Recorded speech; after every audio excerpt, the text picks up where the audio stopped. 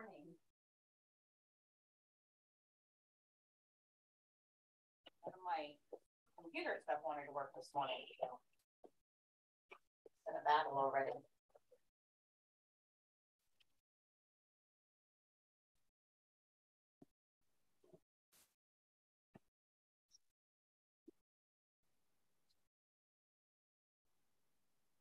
Okay.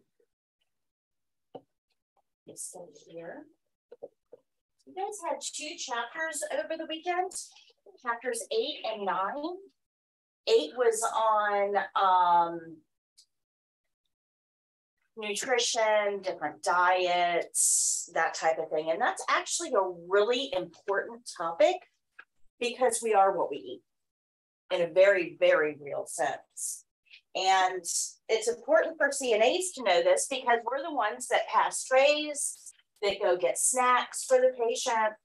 And we're in the room way more than the um, nurses are. So we're in a position to see if they're having food brought in from the outside or snacking inappropriately or that type of thing. We need to understand the importance of that, the important role that diet plays in uh, overall health.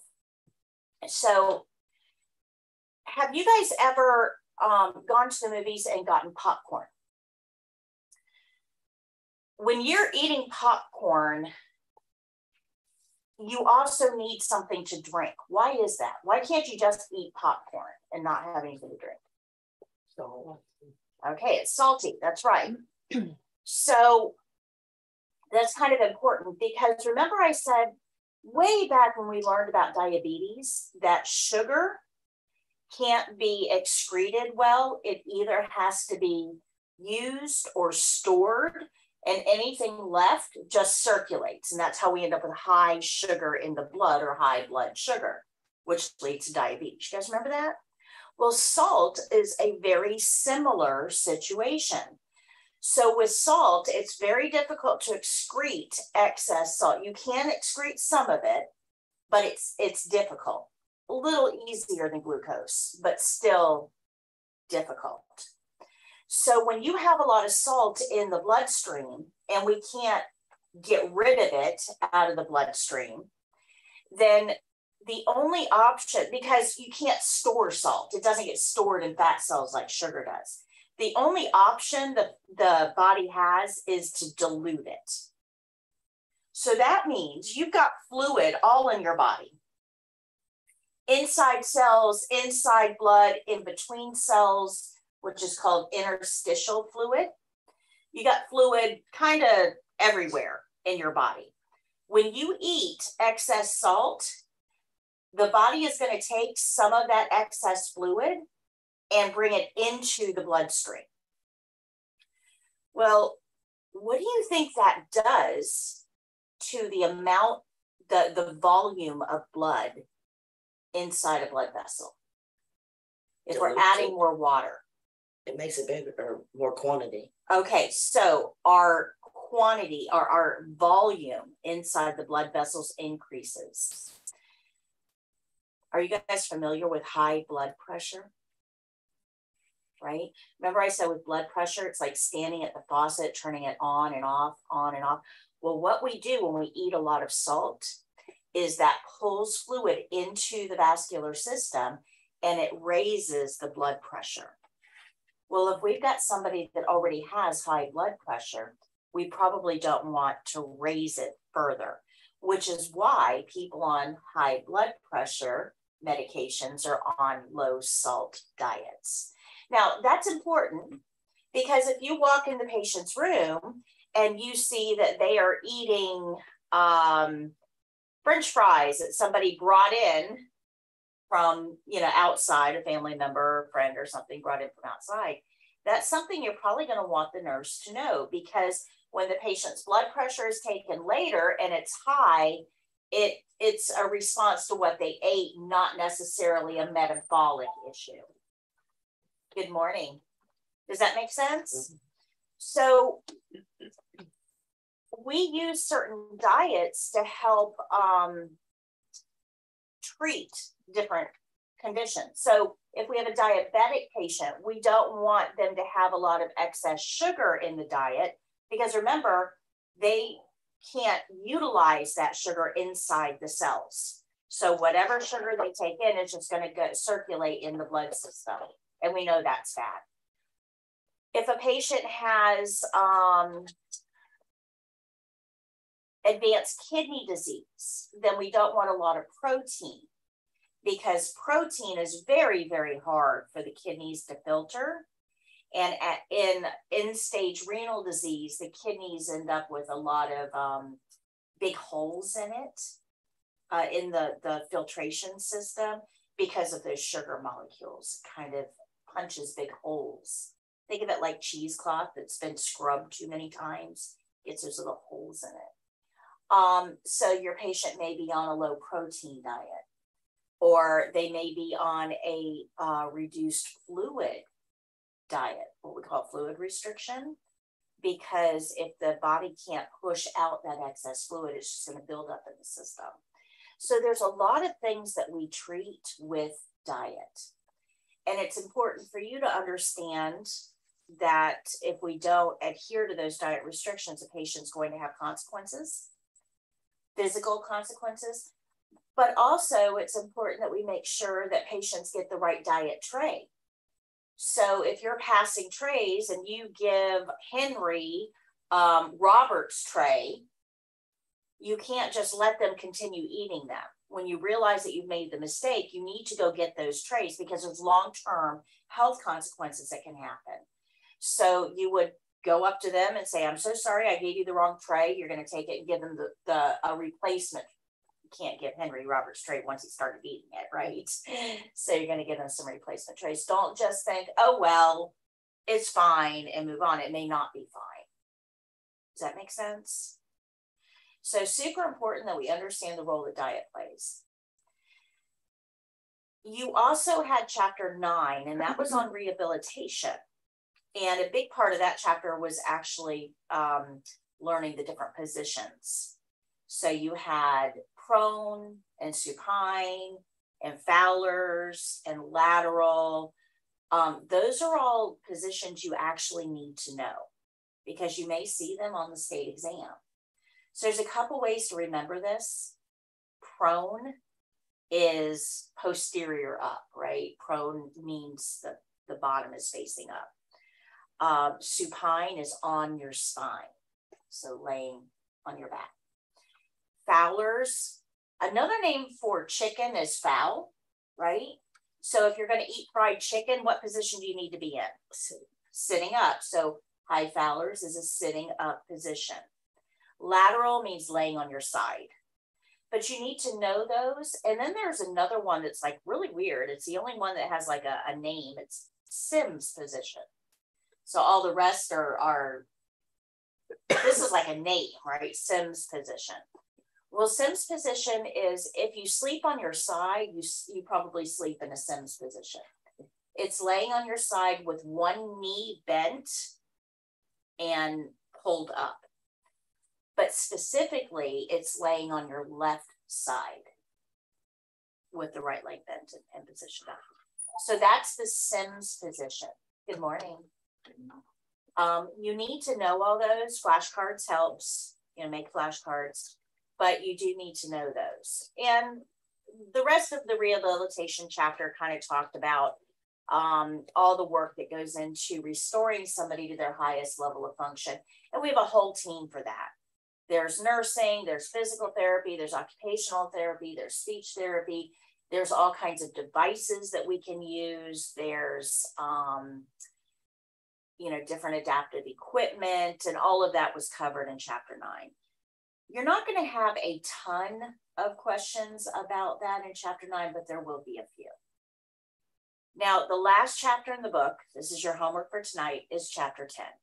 And chapter 10 is about um, employability, stress management, how to get a job, how to keep a job, how to remain sane while you have a job, those types of things. So you'll probably want to read through chapter 10, but most of it should be reviewed for you. Should be pretty easy. Okay. And we're going to go over some of that on Wednesday as well. So anybody have any questions on what you um, read over the weekend? Anything I can help explain for you? In in the chapter on feeding in here, it says to pull the curtain. Yeah, if there's a discrepancy between what I say and what your reading textbook says, always go by me. Okay. That's what I thought. Yeah, and that's because what I'm teaching you is very specific to the state requirements. The other textbook, I have you read it because it's got a lot of good, useful information, but it's not as specific as what, because it has to kind of cover the whole nation, and every state's a little bit different.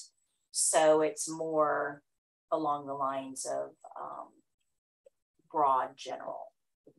My stuff is going to be very specific to what we have to focus on. All right. Any other questions? It's a good one. Others. Let me get your scores. Christy? I'm a zero on both. Very good. Jane? Zero. Thank you. Nicole? Jamie? I got a hundred on eight and ninety-five on, on nine. Very good. Novalee? Zero and two. Thank you. Isabella? Zero. Okay.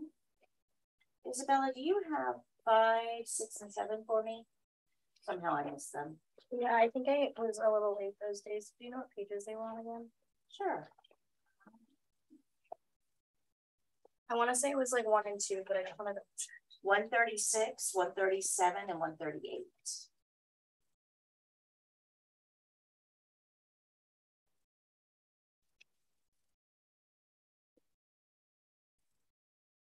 Yeah, one and then two.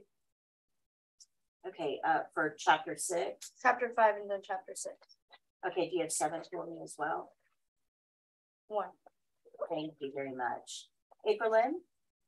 Uh, eight was a hundred and nine was ninety-five.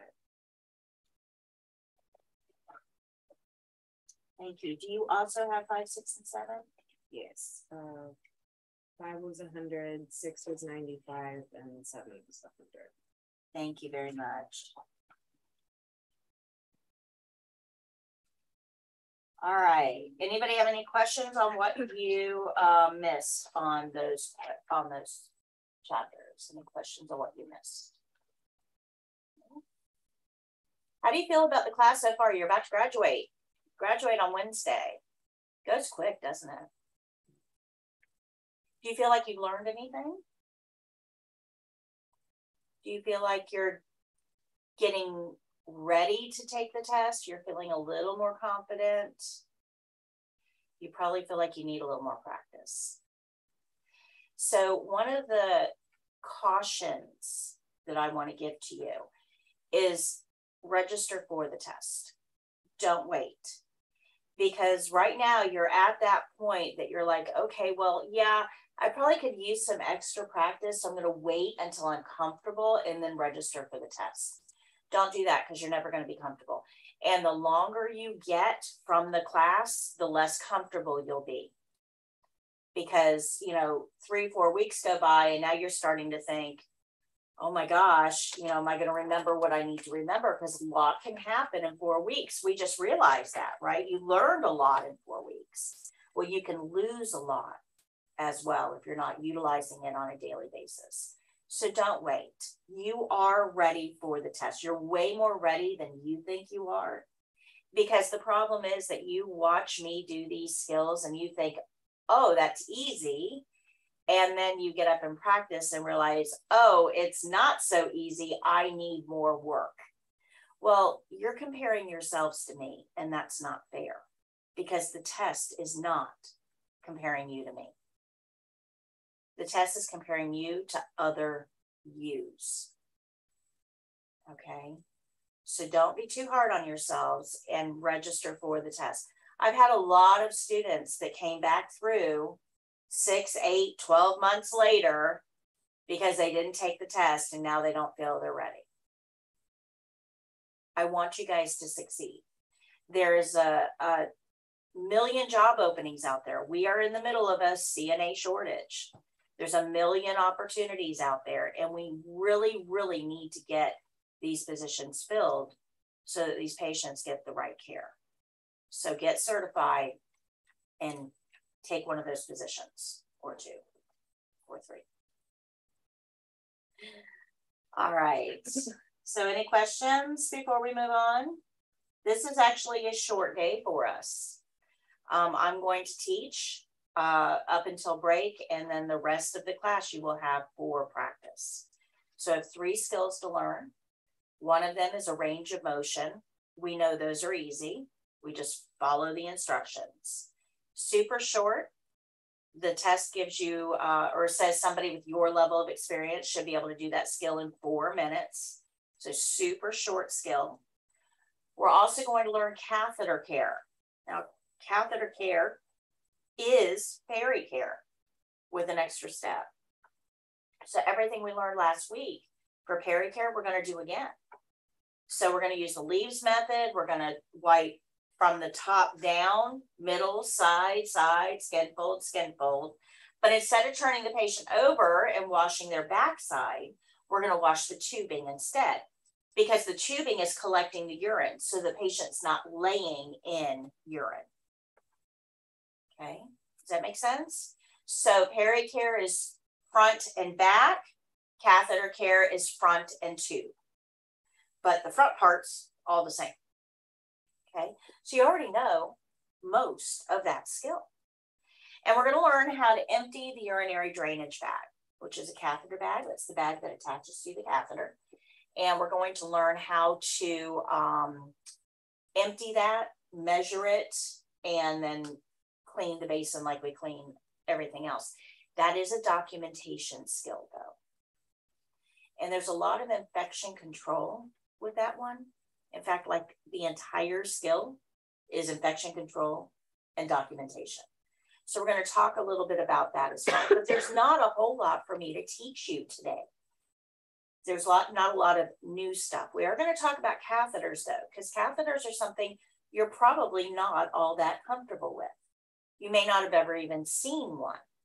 So I want to explain to you how catheters work, um, how we use them, what we're allowed to do, what we're not allowed to do, and the infection control risks for the patient with a catheter.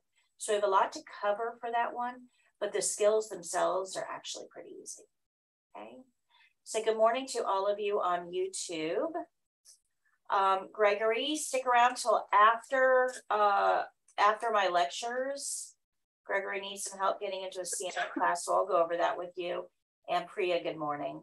All right, guys. So hopefully you guys on YouTube can hear me. We are under a hundred subscribers needed to hit that hundred thousand mark. Yeah, we're now down under a hundred. So I need like 98, I think it is, subscribers to hit that 100,000 mark. So we'll have it by Wednesday. A lot to celebrate on Wednesday. It's going to be a good day. good morning, Joey. All right, guys. So let's go to page 57 in your book.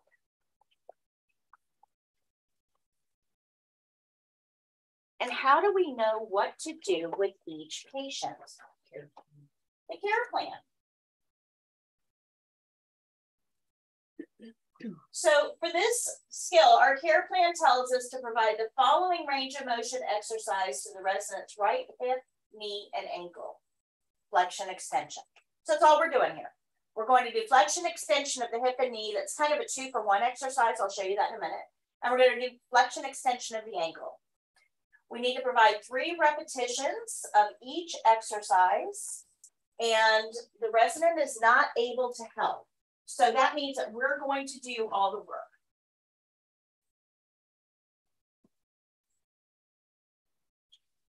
So flexion extension is an up down motion.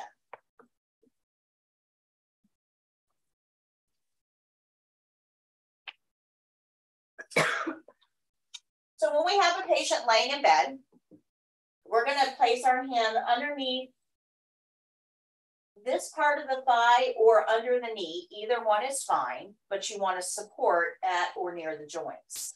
We're also going to lift underneath the ankle. Remember, we always lift from below with a flat palm, never from above, ever. Never catch yourself doing this. So we're gonna lift from below with a flat palm. We're gonna support at both joints and we're going to bend the knee up like the patient's walking upstairs. Now, when we do this, we want to bend the whole thing. So we're bending at the hip and the knee at the same time. We don't want to do a straight leg raise. Now, the reason for that, if you try to keep this leg straight as you raise it up, um, that puts a lot of pressure on your sciatic nerve. Now, the sciatic nerve is a really big nerve that runs from your lower back down through your buttocks and down into your heel. It's what the main nerve that gets all the signals from the foot and takes it to the brain. Well, when you do a straight leg raise, it pulls that nerve super tight. There's not much room there. And when it pulls that nerve super tight, the patient can experience pain. So we don't want a straight leg raise here. Anytime you're bending at the hip, you need to bend at the knee too, unless the care plan indicates otherwise. Does that make sense? This puts less pressure on that nerve and is better tolerated by the patient.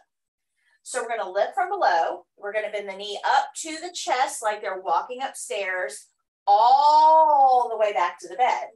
And we'll do that three times because that's what our care plan tells us, three repetitions. Good. Then we're gonna lift the leg from below, support at the ankle from below. And we're going to bend the foot forward like they're stepping on a gas pedal and back gently toward the head. So the patient's going to feel a stretch up the back of their leg. But again, you don't want to force this. We only go to the point of pain or resistance. So we're going to bend this just back a little bit so they feel that stretch.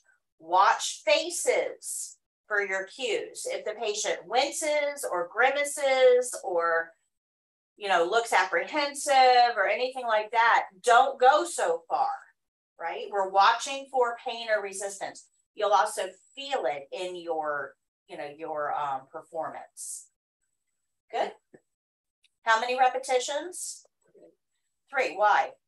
Care plan says. That's what the care plan says.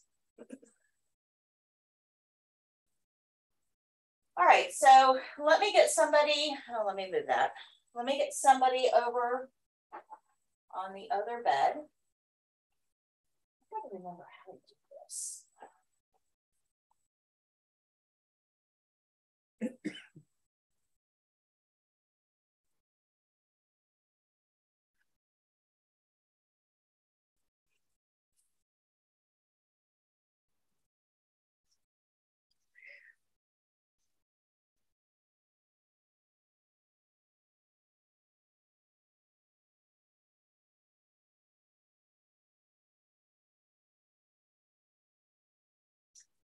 Well, I have to read up on that. I don't remember how to do it.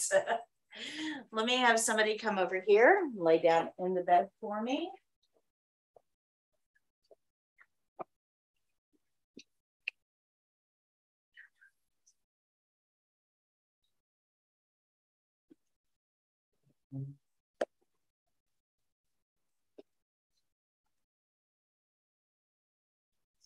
All right, if I wasn't sure which um, hip, knee, and ankle I was supposed to exercise, what should I do? Check care plan. Can somebody look at the care plan and tell me which The right, the right. the right hip, knee, and ankle? What do you think happens if I mix this up and work on her left? Could be bad. Could be bad. It could be bad. So I could end up injuring the patient. What do you think that's going to do to my score? It's gonna fail you. Yeah, not because I just messed up a little bit, but because of the consequence to the Patient. patient, right? Does that make sense? All right, here we go. Hi, Miss Jones. My name is Patti. I'm your CNA today. How are you? Good, how are you? Fantastic. I need to do some exercises on your right hip, knee, and ankle. Is that okay? I'm gonna close your curtain. Let me go wash my hands and I'll be right back. I have clean hands. All right, Miss Jones, I'm gonna do all the pain, or all the pain.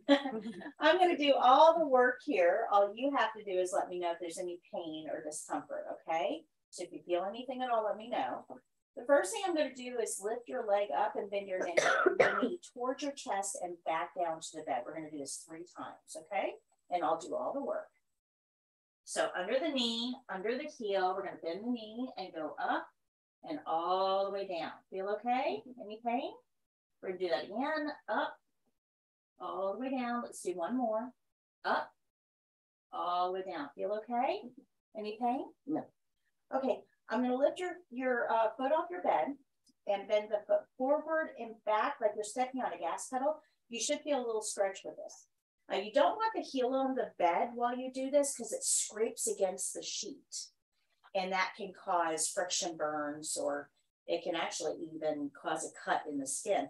So we want to get that heel off the bed when we do this. And we're going to bend forward and then back. Relax for me. Feel that stretch. Forward, back. Feel okay? Forward, back. Good. Are you comfortable? Yes. Is there anything else I can get for you while I'm here? No, I'm good, thank you. Would you like a magazine before I go? No, okay. Okay, so curtains open, the environment is clean. Let me get your call light for you.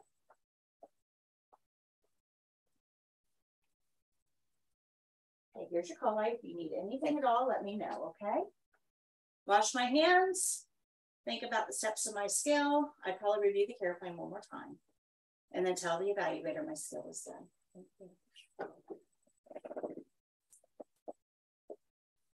Questions? It's kind of an easy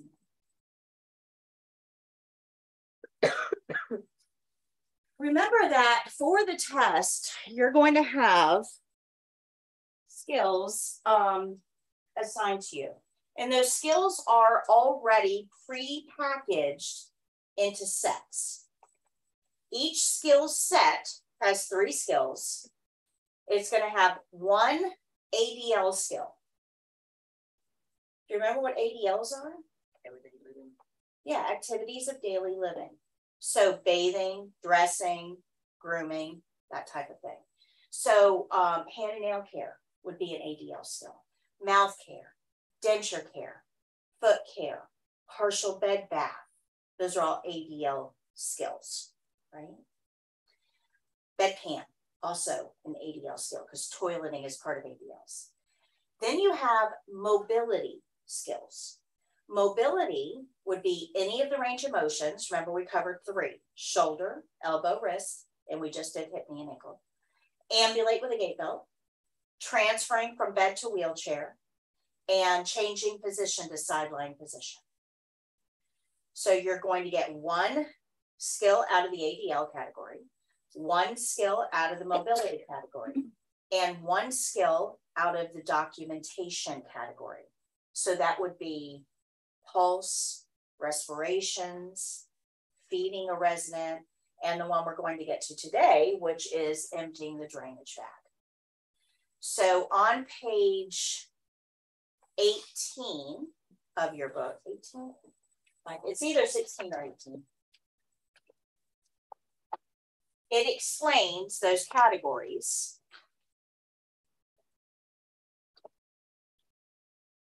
Is it 16? Okay, sorry about that. 16. It explains those categories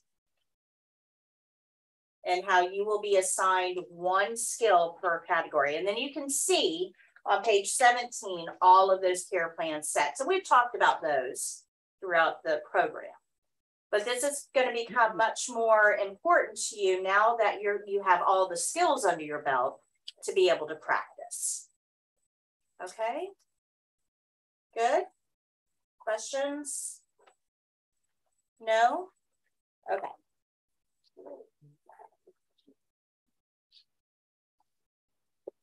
All right, we're going to move on to catheter care now. Go to page 114 in your skills book.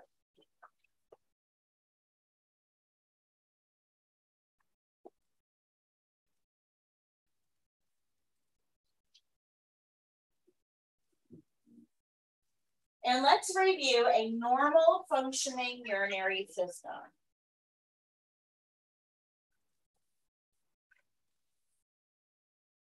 So a normally functioning urinary system is going to have kidneys. Those kidneys are going to filter urine, filter blood, and pull out the impurities and create urine. And that happens 24 hours a day. You guys remember that? They never stop. So that means that urine is made 24 hours a day. And that urine is going to drip, drip, drip down ureters or tubes that puts that urine into a bladder. And all that bladder does is hold the urine until it's convenient for you to go get rid of all of it. There's a little valve at the bottom that holds that urine in the bladder. That valve is what's responsible for you staying dry. This is a normal functioning urinary system. When we have a catheter, that system is still working. Nothing has changed up here. The only thing that has changed is we are holding that valve open with a tube. So we insert the catheter that holds that valve open. We're going to inflate a little balloon at the top of the catheter just to keep it inside the bladder. It's kind of like a doorstop. But if you look, that balloon is inside the bladder. You can't really feel that because your bladder is a big hollow organ. So you don't really feel this. Too. Now, if you inflated it here, you would feel it for sure. But once we get into the bladder and inflate that little balloon, it shouldn't be felt by the patient. But what the patient will feel is this, and this has to be kind of a tight fit. Because remember, it's liquid, right? Urine is liquid. Liquid always finds a way. Well, if we don't have the catheter snug in the urethra and we're holding that valve open, that means that urine can leak around the catheter because the catheter isn't taking up enough space. Does that make sense? So catheters need to be snug.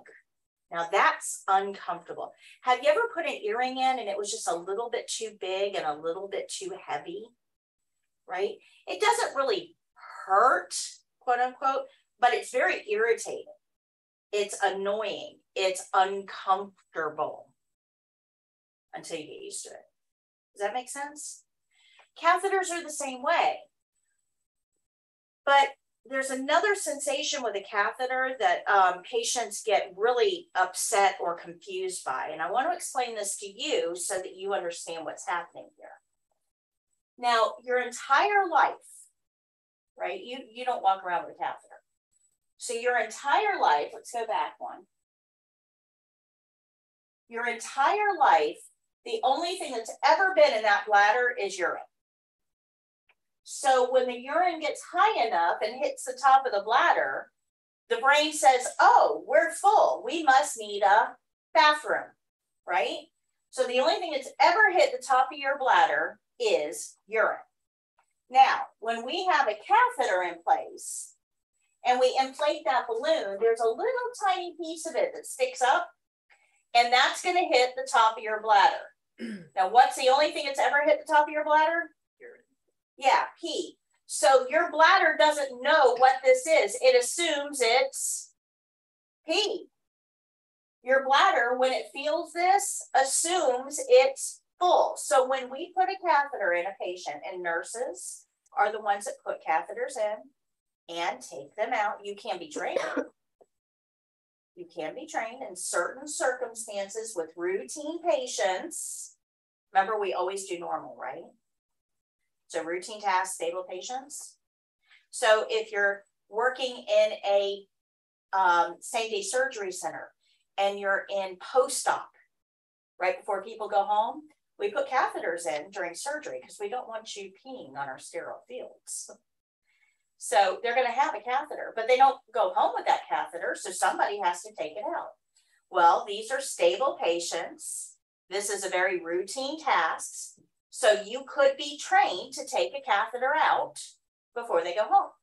So it is delegatable. But right now, Entry level CNAs do not do this. This is nursing. But when nurses put these catheters in, the patients may start to feel like, oh my gosh, I've got to pee. I have to pee. I have to pee.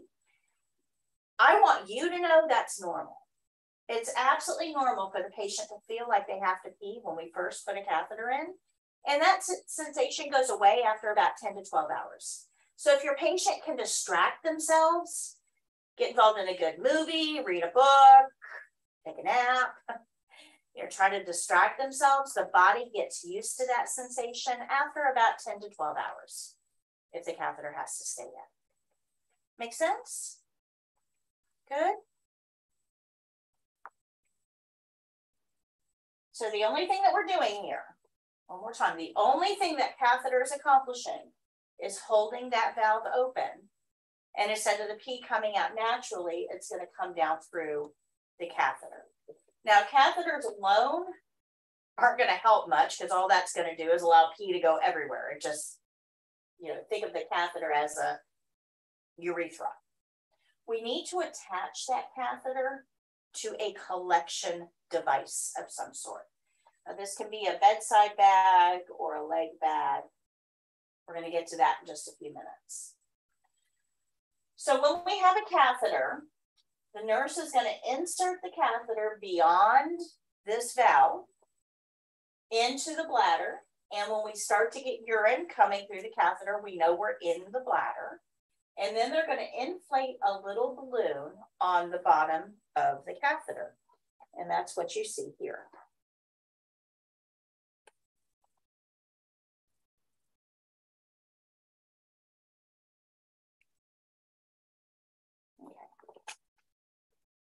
So this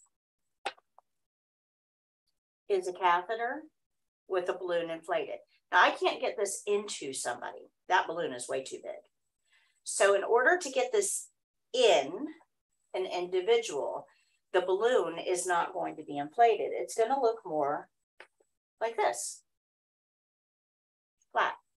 It wouldn't, whoops, wouldn't have this piece. Just kind of take that piece away for a minute. It would be flat. We put this in, once, once it's in place, we use a syringe on this port and fill that up with water. Now it'll stay in place. It's a little doorstop. But like I said, this alone isn't going to solve any problems because that's just going to let pee go everywhere. So that means that this needs to be attached to some sort of a collection device. Now that might be a bedside bag, which is what you see here. This is a bedside bag. It holds a lot of urine. We use these mostly in hospitals or if the patient's at home and not really mobile. But if the patient is out in the community, nobody wants to carry a suitcase full of urine with them. That just looks a little weird. They're going to get stared at. So instead of holding one of these, they're going to use a leg bag, which is a smaller version, and it attaches to the inner thigh or the calf with um, elastic bands or Velcro. And same, it, it attaches the exact same way, has the same tubing, but it's shorter. And this allows you to conceal a urine bag under your clothing and nobody knows that you have a catheter. But it's not going to hold as much. Now, most of the time, patients with leg bags can empty them themselves. They'll go to the bathroom and open a little valve on the bottom of the bag and let the urine go into the toilet. Okay, so think of this just as an external bladder. Good? Question? They're able to get around and empty their own bag. Why do they have a catheter? So there's a lot of reasons that we would have a catheter. We tend to think of um, catheters is more uh, acute care, like if you're having surgery or if you're having a baby and you had an epidural, we need a catheter because when you have an epidural, we numb you from here down. So you don't feel your legs. You don't even know you have legs anymore. so there's no way you can go to the bathroom, right? You also can't control that valve because everything is asleep. So because of that, we generally put in a catheter when you have an epidural. Um, other reasons that you would have a catheter, let's say you have COVID and you're in ICU on a ventilator. Well, you certainly can't get up and go to the bathroom because you're on a ventilator. A catheter would be indicated. But there's other reasons that we would need a catheter as well. And a lot of those have to do with neurologic impairment. So let's say that we have a baby that has spina bifida. Now, what this is, is your spinal cord, right? Your main big trunk of a nerve that connects your brain all the way down your spine to everything. Okay. Now, spina bifida is that spinal cord doesn't stay inside the spine where it's supposed to. It actually loops up outside of the body. So babies that are born with spina bifida don't always have control of things, you know, below the chest. So they may have difficulty walking. They may have difficulty controlling the valve. They may have difficulty opening the valve, which means it's stuck in the closed position forever. So in that case, we may have to do something called an intermittent cath. So an intermittent cath is something like this. This is a catheter just like this one. The big difference is it doesn't have a balloon. So this would be put in just long enough to empty the bladder, and then it's going to be taken out. And we're going to do that every four or six hours as needed for their entire life. Um, but it's better than, than having a catheter all the time. Okay, so intermittent cath. That can also happen with certain surgeries as well. So um, men that have prostate surgery, there's a lot of nerves in that area, and sometimes accidentally, one of those nerves that controls that valve gets stuck or gets cut, and then it gets stuck in that closed position with no way to open it they would also need a catheter of some sort, either an intermittent or an indwelling. Okay, so this one doesn't stay in, there's nothing to keep it in. We just put it in, empty the urine, take it out. This one stays in for up to 30 days and then it'll have to get changed out. So it's put in, the balloon is inflated and it stays in as long as we need it. Um, Every 30 days, indwelling catheters need to be changed out. That's gonna be a nurse's job, but every 30 days. Good. Once a week is how often the bags need to be changed. So because these are good for 30 days, but these are only good for a week, then they have to be two separate pieces that are attached together. CNAs do not attach or disattach the bag from the catheter unless you've had training. Good. Questions so far? Questions? There's a lot of reasons you would have a catheter. Th those are just a few, but um, it's very surprising how many people actually have catheters that you have no idea. I mean, they're walking around Winn-Dixie with you.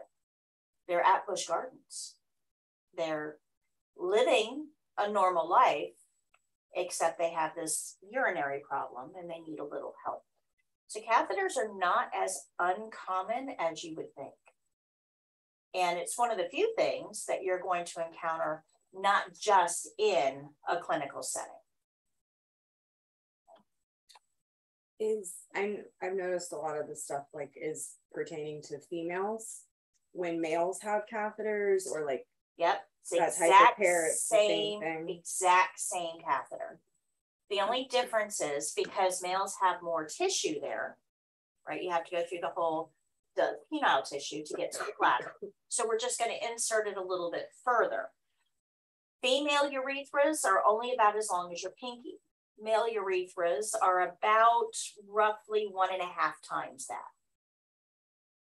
Okay. Could be a little bit more, a little bit less, but that's kind of our ballpark. So where you would insert a female catheter about that far, you may insert a male catheter about that far.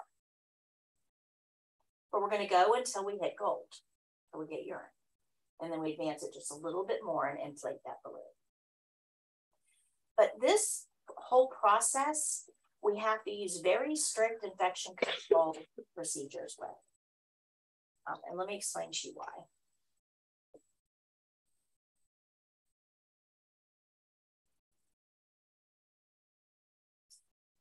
So we talked about this a little bit last week when we talked about pericare. I told you that the bladder is the ideal breeding environment for pathogens. Every pathogen is looking for a bladder to get into because it doesn't, it's not just warm, dark, and moist, which we know is a good place.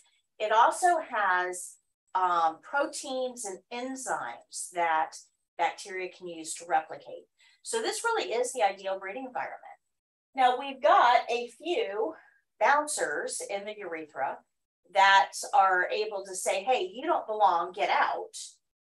But when we have a catheter, those bouncers can't see what's on the inside of the catheter. That means that bacteria can get in there, eat, drink, be merry, zip themselves in half, and before long, you have a whole bunch of bacteria that are all able to invade at the same time. So if this was just a small invasion, one or two bacteria, your body could probably fight it off. But when you have one or two trillion that show up like that, because all of their multiplication happened in here, out of our view. We had no idea that was happening. So they eat, they drink, they multiply, they eat, they drink, they multiply, they start to climb. They eat, they drink, they multiply, they climb. They eat, they drink, they multiply, they climb. By the time they get to this hole at the top, there are trillions.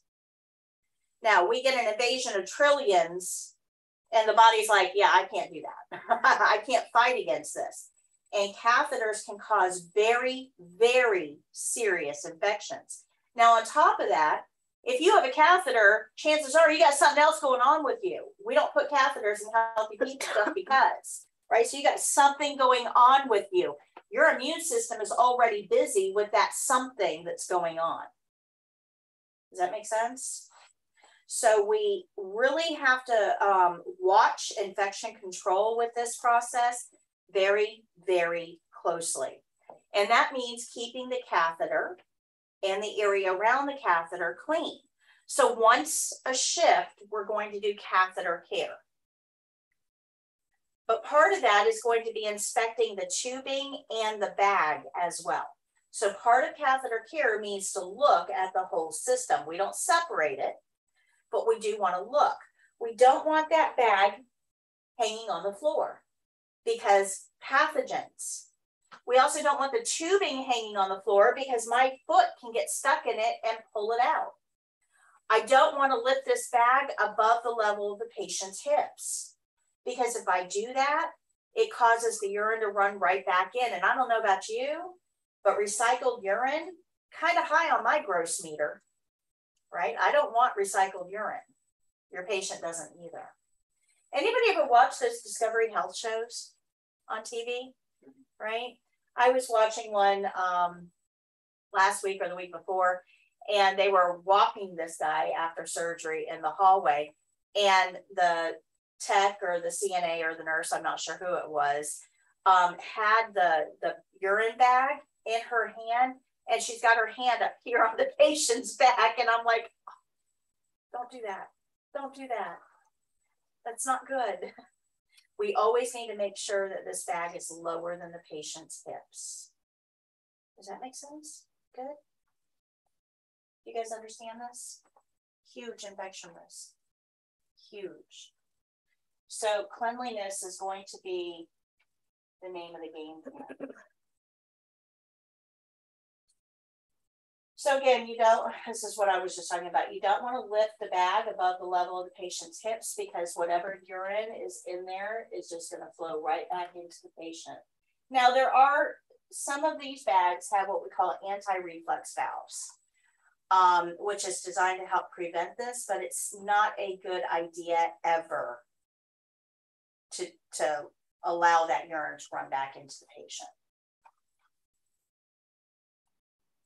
Anything that's coiled up next to the floor can cause somebody to trip. And catheters get pulled out. They do. They get pulled out by patients all the time because patients will roll over in bed and the catheter stays where it's put. You know, so patients will pull catheters out. Sometimes they'll tug on them because they don't belong. They feel odd, foreign. So they'll kind of tug on them. If they have dementia, they'll pull them right out because it doesn't feel like it is supposed to be there, right? It's foreign, it's odd. But believe it or not, CNAs pull out way more catheters than patients do. And this is one of the ways that we do it. We don't pay attention to where the tubing is. So our feet get caught up in it and we end up pulling it out. We also pull out catheters when we turn a patient over onto their side, because if I'm leaning against the bed as I'm rolling the patient over and I'm trapping that tubing between the bed and my leg, the patient will roll, but the catheter isn't going to. But probably the most common way to remove a catheter uh, improperly is when we're transferring a patient out of bed and into a wheelchair or ambulating them. That's the most frequent time that catheters get pulled out because you'll stand the patient up, you'll start walking, and they'll feel a little tug or a little resistance. But if they don't know what that is, they'll keep walking and they'll walk right out of that catheter. It'll just pop right out. Now, this freaks CNAs out big time, right? Because you've got something this big going through a tube this big. You're going to get tissue tearing. That's just a fact of life, right? You can't have something this big going through a space this big and not have consequences. So when you have tissue tearing, you generally have some blood alongside of it. Now, this isn't going to be a huge amount of blood, but it will be a little bit. And your patient's probably going to complain of stinging or pain. Well, yeah. We got a this size balloon going through a space this size. We're tearing it, and we got urine right there, right? So you're going to have some stinging. So there's a couple things you need to know about catheters that get pulled out. The first is don't hide it. CNAs try to hide this all the time. Don't hide it, own it. You need to go to the nurse and let them know hey, the catheter came out. And you got to do it quick because anytime that there's tearing, remember you got a balloon this big going through space this big. Anytime there's tearing, there will always be swelling. So if I have swelling in the area and I have to get another catheter in, that swelling may prevent me from being able to do so. So I've only got 30 to 45 minutes to make my move to figure out do we need a catheter there or can we do without? If we need a catheter there, I got to get one in before that swelling sets in. If we don't need a catheter, oh man, that's going to sting like crazy every time this person pees. That is not going to be comfortable. But that may be what we have to deal with, which means I've got to prepare the patient for what's coming. Does that make sense? Now, if you don't let me know, if the catheter comes out and you try to hide it, you kind of kick it under the bed, you don't let anybody know, shift chain change occurs, a new crew comes on, and they realize that the catheter is out and they have no idea how long it's been, that patient is going to need a whole lot more care than they would have if we could have just addressed it quicker.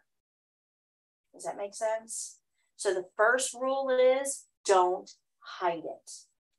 The second rule is don't throw it away because I have to inspect it. When you come to me and you say, hey, the catheter came out, I have to go look at this. Now, if it's intact, if this balloon is still holding water, if everything looks just like this, fine, no problem. We can work with that. This is good. I know it doesn't seem good for the patient, but this is good. This is very bad because if the balloon is not intact, that means a piece of it probably stayed behind in the patient. This I can work with. This requires the surgeon. Big difference. The only way for me to know is to visually inspect it. So don't throw it away. Um, you need to put it in a bag. And every trash can in a clinical setting, every single trash can has empty bags in the bottom. So take the current bag out. There's fresh empty bags in the bottom. Go grab one, put this whole thing in. The bag, the catheter, everything, put it in, put it in the bathroom. And then come let me know. And I'll go inspect it. Does that make sense? Good. So this is what it looks like when a balloon has burst. And this does happen when um, when they've been left in for quite some time. Remember, urine is acid. It eats these balloons. These balloons are super thin. You can see how thin they are here. So I'm going to pass these around along with the red Robinson or the intermittent cath. Now these that stay in, these are called Foley or indwelling catheters. This catheter is an intermittent or red Robinson. You'll hear them described both ways. I find it's helpful for students to be able to see a catheter and know how what's happening on the inside of the body and how to troubleshoot rather than um, just kind of leaving you guys wondering. When you see it and you know that it's not all that scary, that it's nothing more than a straw with a balloon, um, it does take some of the fear out of it. Okay. And that's all it is. It's a flexible straw with a balloon.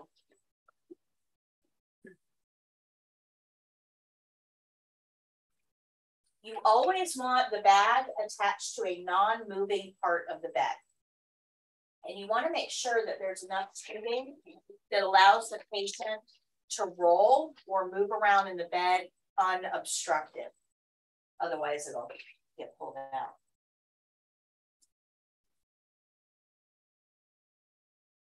So we've talked about this, but the um, most common times that catheters are pulled out is when you turn a patient over in bed, when you're transferring a patient to a chair, or when you're ambulating a, a resident.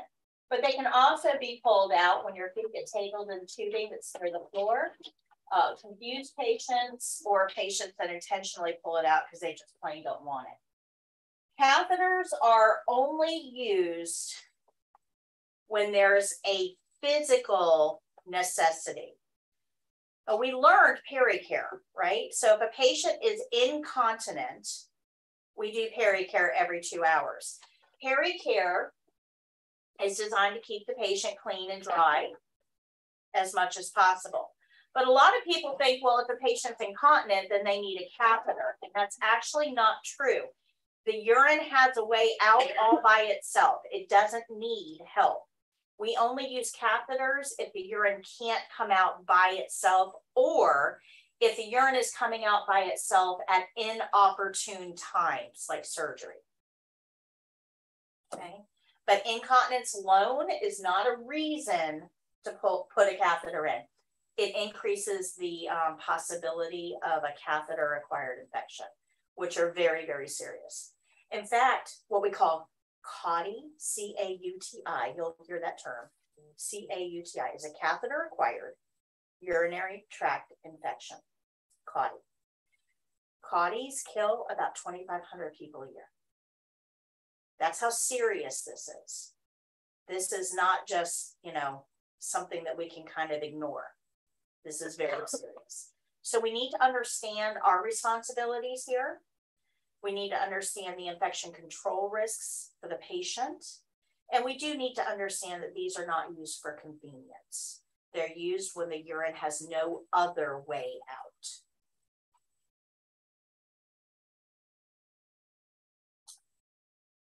Um, and again, this is just a graphic that shows that when you're walking a patient, it's really easy to pull a catheter out there's not much there that gives a lot of resistance to this. That valve, it'll let that pop out. I mean, you can you can tug on it a little bit, But if that bag is attached to something, as the patient is walking, it will come out.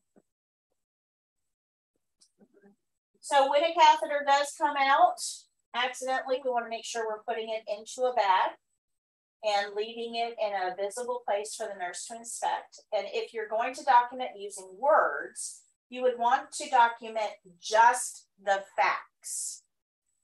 Just the facts. So in this case, it would be something like catheter found lying, laying in patient's bed, catheter and balloon intact. Um, you could say that you notified the RN or whatever your next steps were. Most times, most places do not allow CNAs to document with words. Most places, CNAs are limited to documenting numbers, pulse, respiration, blood pressure, temperature, food intake, urinary drainage bag, numbers. When we start using words in documentation, lawyers are allowed to get a hold of that and may use it against us. And a lot of times we say things that maybe we, they sounded good at the time, but maybe they're not written quite right legally. So here is our care plan for this. Provide catheter care with soap and water to a female resident with an indwelling urinary catheter. Clean the catheter tubing and perineal area only. So that's our care plan for this one. We have a female mannequin, this is a mannequin skill, with a catheter, and she will have an actual catheter in her. We're going to clean the catheter and then clean the area around it. Does not matter what order you do it.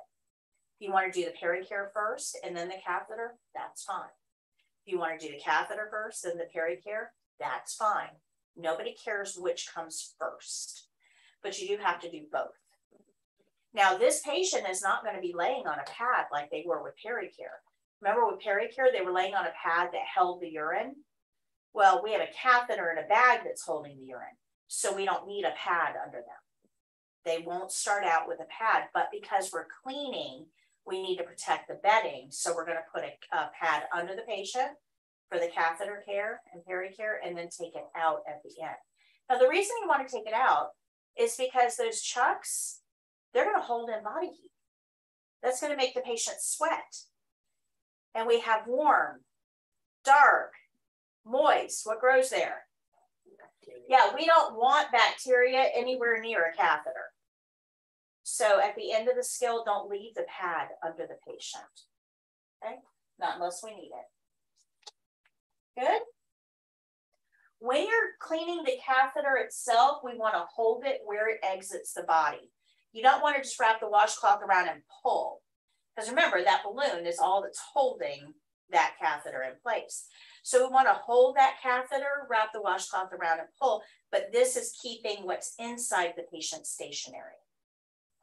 Okay, we're going to clean using four cleaning strokes. One, fold or leaf. Two, fold or leaf. Three, fold or leaf. Four. Whatever we wash, we rinse. rinse. So you're gonna rinse the same way. One, fold the leaf. Two, fold the leaf. Three, fold the leaf. Four. And then you'll dry. And then you'll do pericare. Middle, side, side, skin fold, skin fold. Rinse, middle, side, side, skin fold, skin fold, dry. Take the pad out. Do your closing. You're done. Okay. But you definitely want to hold that catheter where it exits the body. All right, so let me show you the video for this one because it has good close-ups of the catheter.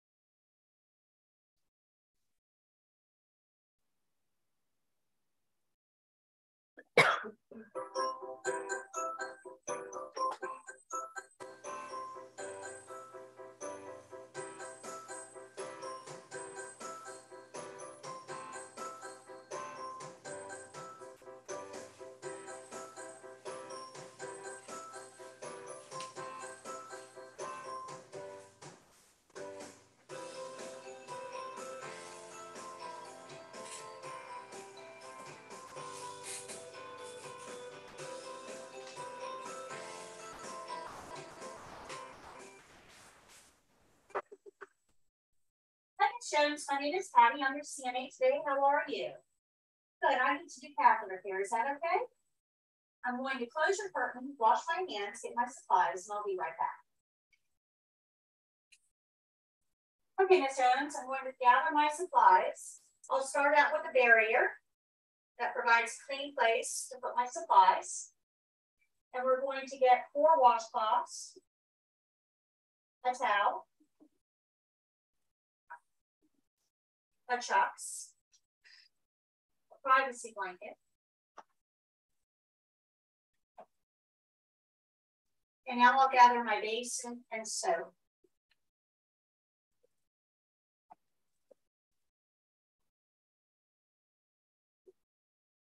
And a set of gloves.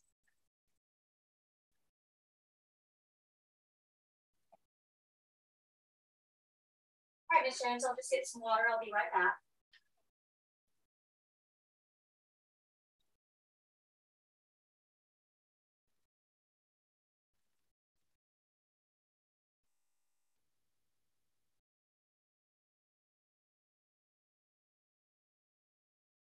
Okay, would you like to check the water temperature and make sure it's okay? It's good? Good. I'll place the washcloth in there to stay warm. And I'm going to cover you with a privacy blanket. This is going to help protect your privacy and keep you warm while we do this skill.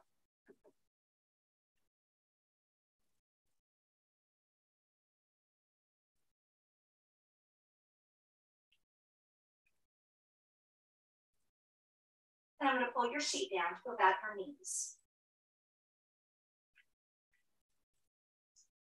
Okay, Ms. Jones, I'm going to place this pad underneath you. This is going to help keep your bed dry while we do this skill.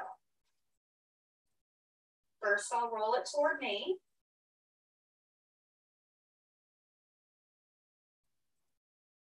And place it on the bed. And then I'll put my gloves on. All right, Ms. Jones, can you scoot toward me, please? Thank you. And can you roll onto your left side? One, two, three. Thank you.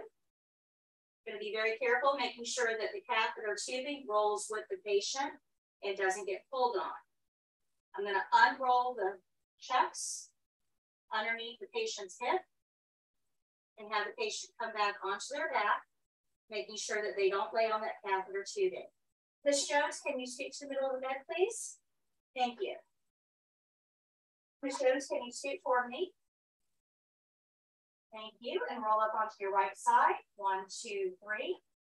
And now I can unroll the chucks to protect the back. Come on back, Ms. Jones. And scoot to the middle of the bed. Thank you very much. Okay, now I'm going to start cleaning the catheter. I'm going to roll your gown up inside the blanket. I will be exposing you, but we'll make this as brief as possible. Please let me know if you're uncomfortable. As I roll the gown in the blanket, I want to make sure that I don't grab the catheter, that we don't cause any unnecessary pulling or stress on that catheter. And now we'll cover her thighs with a towel. This exposes only the area that we're working on. I'm going to take the first washcloth and wring it out. And apply soap to four leaves. One, two, three, four. Now I'm going to clean your catheter.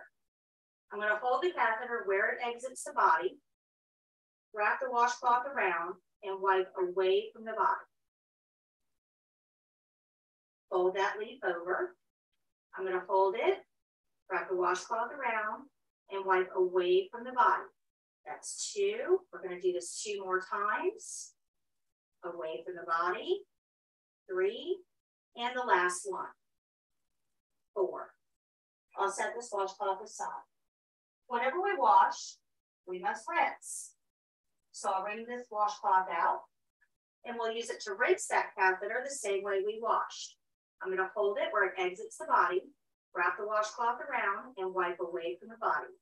We'll do this four times two, three, and four. Set this aside. Now we'll dry the catheter. Now we're going to do peri-care. We'll take a washcloth out of the basin, bring it out really well. And we're going to sew five corners. One, two, three, four, and the back side is five. Okay, now I'm going to clean the peri area. I'm going to lift the catheter up out of the way with my pinky and hold the labia open while I clean down the center with the first sleeve. Always going top to bottom. And then we'll remove the washcloth and fold that leaf over. Now I'm going to clean down one side of the labia, top to bottom. Fold that leaf over. Clean down the other side of the labia, top to bottom. Fold that leaf over. I'm going to clean the skin fold between the groin and the leg. Fold that leaf over and clean the other skin fold between the groin and the leg. And then set that washcloth aside. I'm going to take the final washcloth and wring it out really well. And we're going to rinse all of those areas the same way that we washed them. So I'll fold that catheter out of the way and spread the labia open, laying down the center, top to bottom. Fold that leaf over, clean down one side of the labia, fold that leaf over, rinse down the other side of the labia, fold that leaf over. We're going to rinse the skin fold, fold that leaf over, and the other skin fold. Set that aside. Now we'll dry gently by patting dry top to bottom and then removing the towel. Ms. I'm going to cover you back up. I'll unroll that blanket, which will replace the gown over the patient. I'm going to make sure that the catheter and the tubing is coiled on the bed, not near the floor and not where the patient is laying on it, making sure it's not kinked. Ms. Jones, I'll be right back. I need to dispose of your supplies. The towels and washcloth will be placed in dirty linen.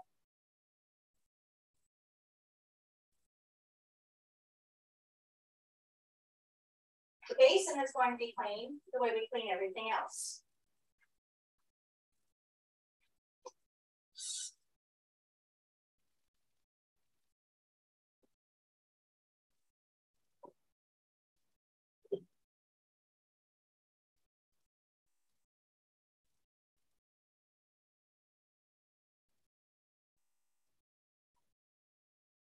We'll return the basin to the drawer and on the way we'll pick up the soap.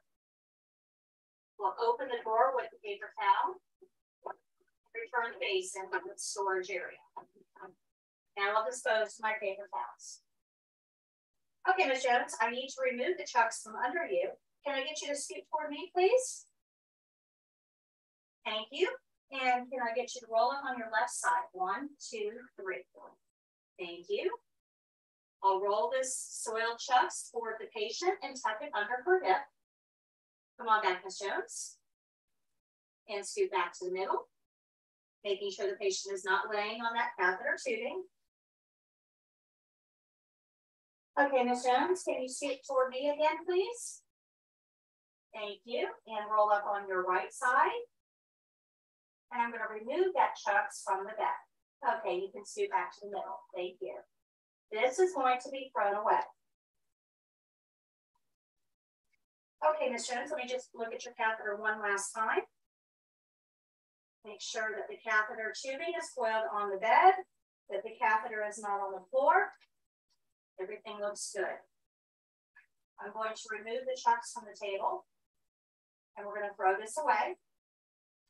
And then I'll remove my gloves.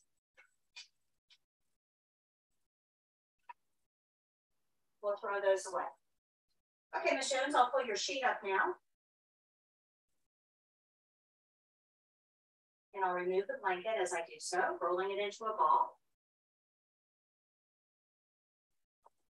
You put this in dirty linen. Okay, Ms. Jones, here's your call line. If you should need anything, just let me know. Are you comfortable? Can I get you anything while I'm here, like magazines? I'm just gonna open your curtain and wash my hands.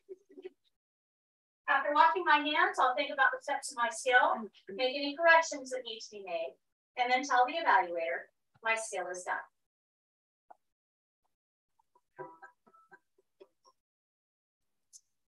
Questions?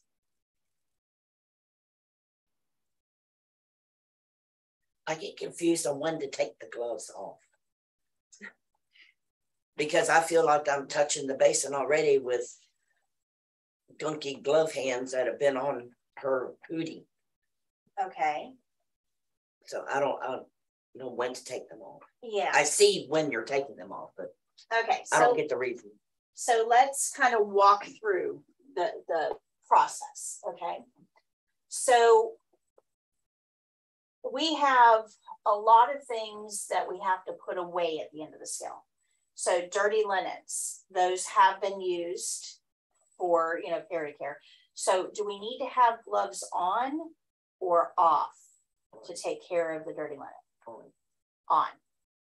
Uh, we have to take care of the basin, um, which you may have touched with the gloves while you were cleaning. Okay. So because there's a possibility of body fluids being on or around the basin, then you really do need to have gloves on when you're cleaning it, when you take it to the, the sink to clean it. Okay. Okay. Now that's why we use a paper towel to put it away. Those linens that you used, think about where the linens were used, those went on the barrier. So when you're touching the barrier, do you need gloves on? Okay. So we know we need gloves on to remove the, the linens, to remove the barrier, and to clean the basin. But this is where it gets a little tricky, okay? So you leave your gloves on for all of the cleaning. You're back to, you know, you now back to a clean table, everything's ready to go.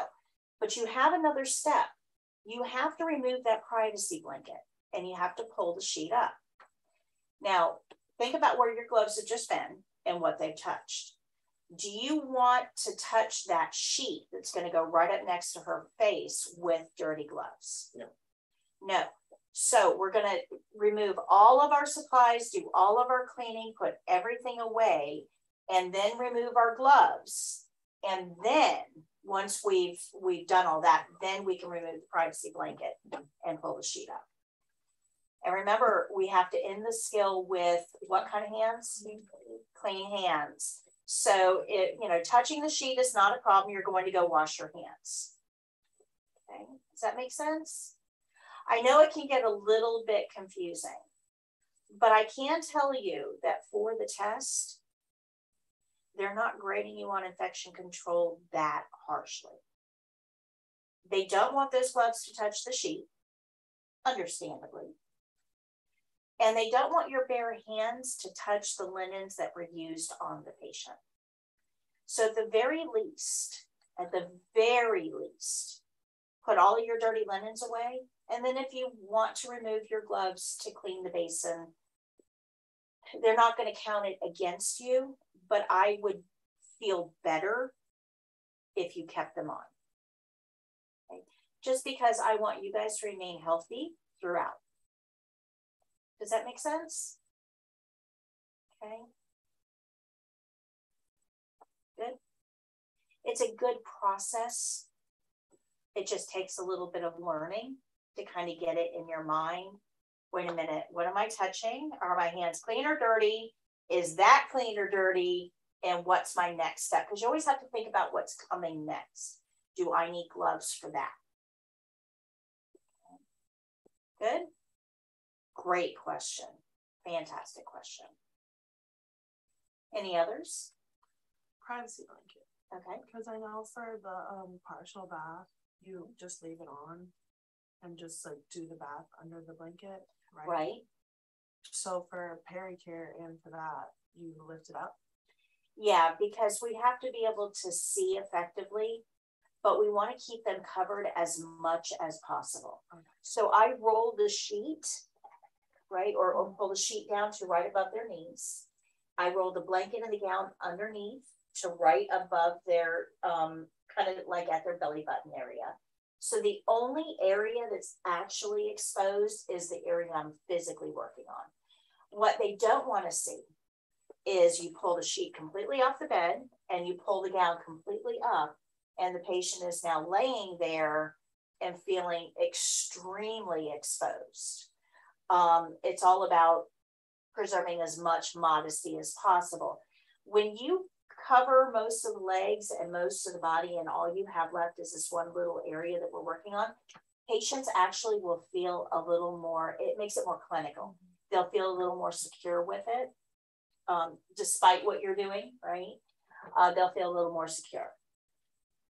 Great question, great question. And for partial bed bath, I'm trying to keep them covered with a blanket as much as possible because it's cold. Mm-hmm. It's cold in the room. They're wet until I have a chance to dry them off. It's cold. So I just try to keep them covered as much as possible. I mean, I will move the blanket to clean under and kind of visualize everything, but I'm going to try to keep them as covered as I can just because it's comfortable. Okay, good. Questions? Anybody catch my live on Thursday? My live lesson? You'll probably want to go back and watch that one because it's on how do you how do you deal with patients that say no or patients that refuse. Um, and I talked about 35 minutes on that. So it's a really, really good lesson. Um, if you haven't had a chance to go back and watch that, I would. You're going to have several questions on the state exam on that.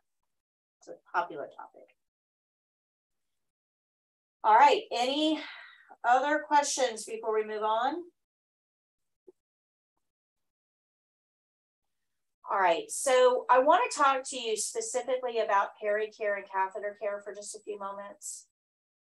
Um, and we've talked about this as we've gone through the program, the importance of telling the patient what you're doing, communicating with them. We've talked about that all along here.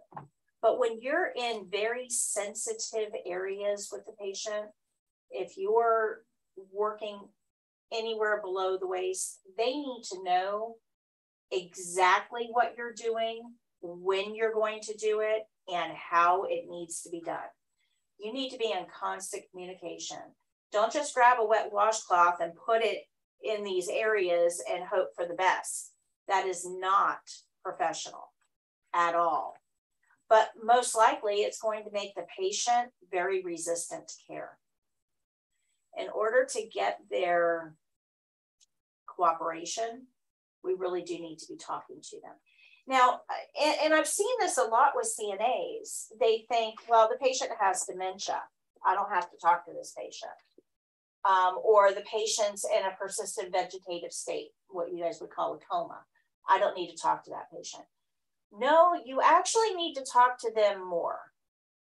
If somebody has dementia or difficulty processing what you're saying, then you need to spend even more time explaining what you're about to do.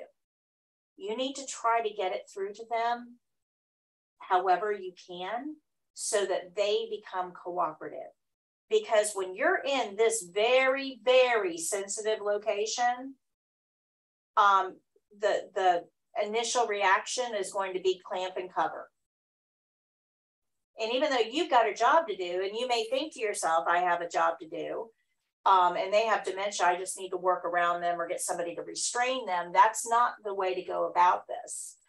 Um, we really want to communicate with patients. So sometimes this is hard because you've got to find a way to communicate with them where they're at mentally and emotionally. And that can be very difficult.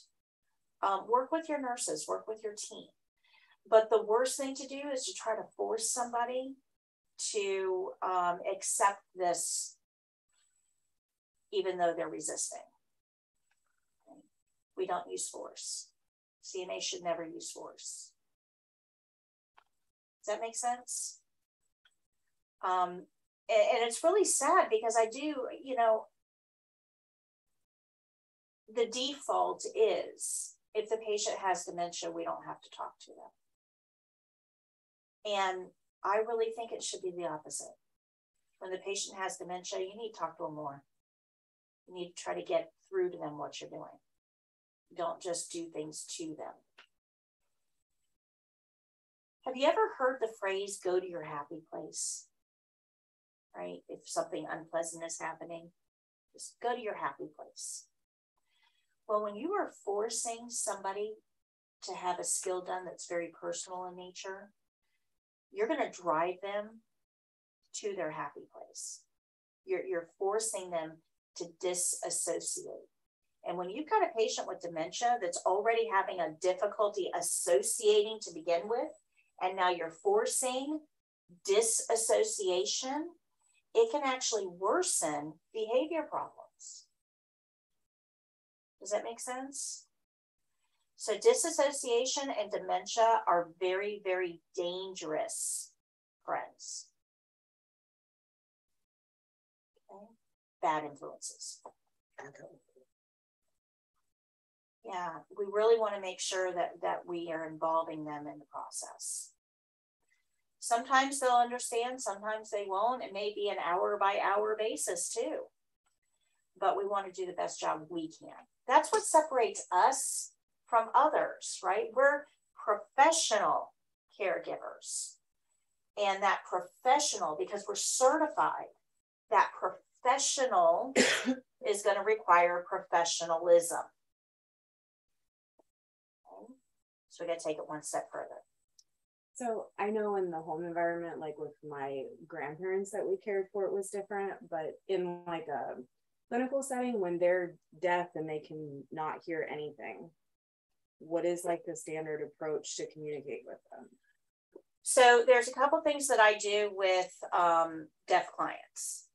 The well, the first is I know a little bit of sign language, so I can at least get some information from them and to them. But we also use picture boards a lot. The dry erase board. Yeah, dry erase boards if they have the ability to write or read. Um, picture boards if communication has broken down. Uh, and often communication boards, I can get the um, kind of get the idea across quickly because communication boards are, it's usually a, a, a whole group of pictures, um, like 36 pictures, six rows of six pictures. And it's the most common daily tasks. Things like toileting, eating, snack, um, walking, reading. I just like the the the 36 most common things you do in a day, you know, all on a board. So it's, you know, really easy for them to, to point to. And then below that is usually an alphabet where they can point to different letters and spell things out. That works pretty well. Um, if you don't have a picture board, then um, this really varies by facility, but most facilities have a sign language interpreter, either on staff. It's usually another employee that knows sign language that they pull in to interpret, or we have video. This is pretty cool. This is actually a relatively new um, possibility with all this social media and stuff. There are actually um, centers that do translation services. So the hospitals will um, contract with the center. And if you have somebody that comes in speaking French, we just call them up on a video call. They watch the patient with their facial expressions, body language. The patient speaks to them. They tell us what the patient is saying. And they can do that with uh, sign language as well. So it's a, an actual interpreter. But a lot of things are missed in um, nonverbal cues, right? That's where video comes in because a lot of stuff is transmitted through nonverbal, especially in uh, some languages and cultures. So that video component makes it super easy to interpret what others are saying. So sometimes we can use something like that with somebody that's hearing impaired as well. Pretty cool. Um, I advise all healthcare workers to learn a few phrases in a few languages, the languages that you're most commonly going to encounter in your geographic region. So here, Spanish, you should know a few phrases in Spanish. Sign language is another good one. If we lived in Louisiana, I would have you, uh, I would encourage you to lear learn a few phrases in um, French or Cajun. If you lived in South Florida, I would te- uh, have you learn a few phrases in Haitian because there's a, a larger Haitian and, and Cuban um, population down there. So wherever your geography, um, wherever you land, basically, find out what languages are the most common for the patients and learn a few phrases in those.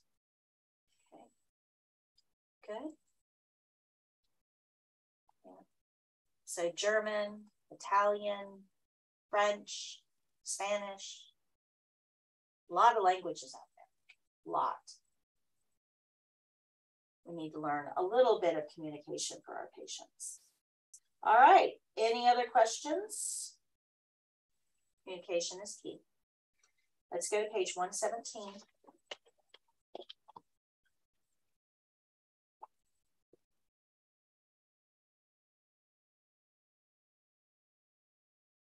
Care plan at the top of 117 tells us to empty the resident's urinary drainage bag into a graduate container and measure and record the urinary output.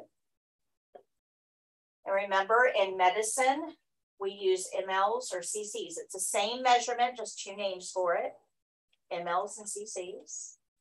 On the intake and output form, you can see that form there in the middle of page 117. And it's also on page 121 in a bigger version.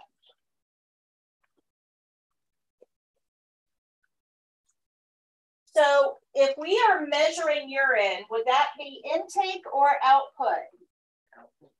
Oh, I hope so. I would not want it as intake. so when you're looking at that um, documentation form, you need to make sure that you're documenting in the appropriate place. There's a place for intake and there's a place for output. And what do you think happens if you document the urine in intake? for the test. Probably not going to go well. Okay. Make sure that we're documenting in the right place. So please be super careful of that. These are step-by-step -step instructions. It tells you exactly how to do the skill. Exactly. So when you're practicing, you should have this in somebody's hands, either your patients or a third party, but you should have this in somebody's hands when you're practicing. And if you get stuck, they should say, okay, well, the next thing you need to do is this. So it helps prompt you to make sure that you're practicing it appropriately. so this is a triangular graduate container. I have these here. I'll show it to you in just a moment. But it is marked in ounces on one side and cc's on the other. Which one do we use? CC. So we're only going to use this side. We don't pay attention to this one. Now, they're marked in 50s. You can see 100, 150, 200, 250, 300, 350. These little lines in between are your 25s. So if this is the line for 400, this would be 425. 450, 475, 500. Got it? You are going to round to the nearest line the nearest, it doesn't matter whether it's up or down, nearest line. So when you're documenting, you should have 350 or 375. You should not have 362. There's no way for you to tell 362 on this scale. So 350 or 375, whichever it's closest to. Good?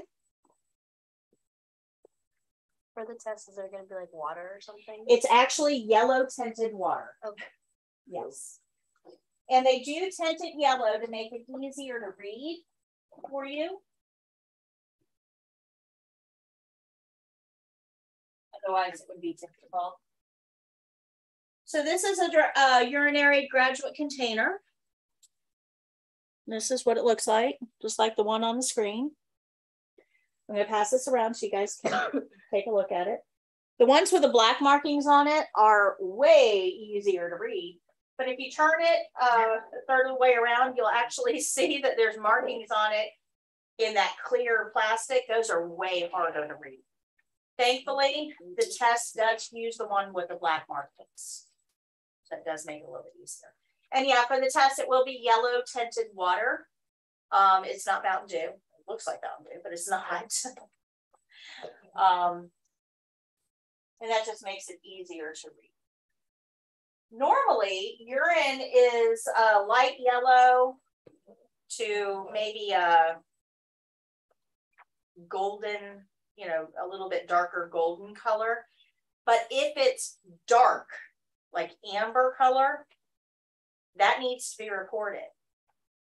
If it's super light and looks like water, that needs to be reported. So anything that that um, that if you look at something and go, huh, that means it's not normal. What do we do with not normal? Yeah, we want to tell somebody, absolutely. So you've got to pay attention to your own kind of internal reactions to things. If you go, huh, it should automatically trigger, you need to tell the nurse. Okay, but urine is not just yellow. Urine can be orange, bright orange, like Gatorade orange from a certain medication. Medications can turn the urine a reddish color and it can also, there's a specific medication that turns urine purple, like Kool-Aid. Anything unusual gets reported to the nurse. So this is what a urinary drainage bag looks like. You have one there that you were able to take a look at. There are markings on this bag. We do not use them. We are going to empty the urine into the container and we're going to measure it using the markings on the container, not the bag because the bag is not accurate. This is just an eyeball, you know, just a, a, a general synopsis. But in order to get a number to write down, we're going to use the container. Good? Questions? All right. This is the emptying port. You can see it on that one too. The emptying port at the bottom of the um, bag